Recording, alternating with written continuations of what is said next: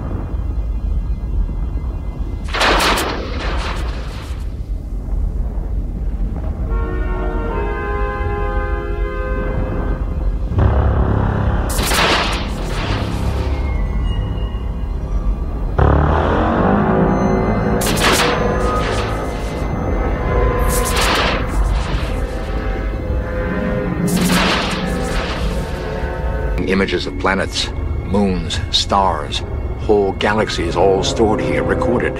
It could be a representation of V'Ger's entire journey.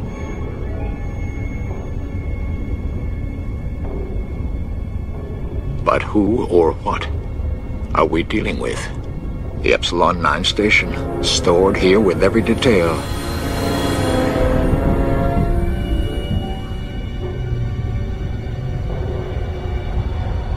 Captain, I am now quite convinced that all of this is V'Ger. That we are inside a living machine.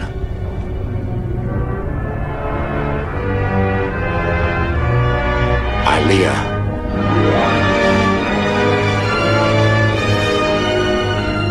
The sensor must contain some special meaning. I must try to mind meld with it.